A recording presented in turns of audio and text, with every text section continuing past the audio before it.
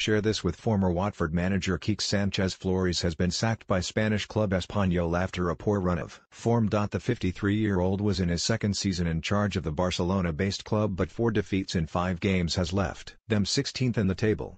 The club has taken this decision due to the team's performances, said Espanyol in a statement. Sanchez Flores was appointed head coach in June 2016.